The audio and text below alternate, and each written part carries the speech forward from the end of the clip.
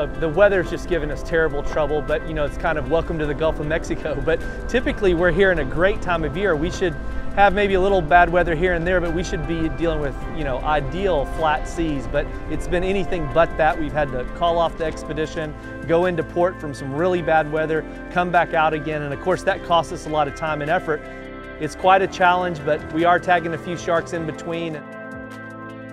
So we've got just a little bit of a weather window. I mean, it's not great, but at least it's fishable. So we're hoping to capitalize on that today and tomorrow while we have a little bit of decent fishing conditions.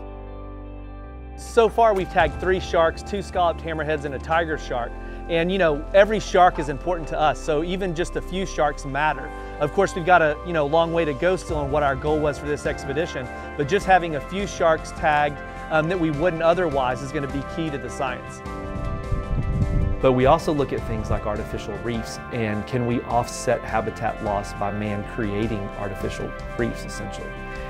And so we study those as it relates to uh, increasing or enhancing fish abundance. And that includes all fishes and especially sharks.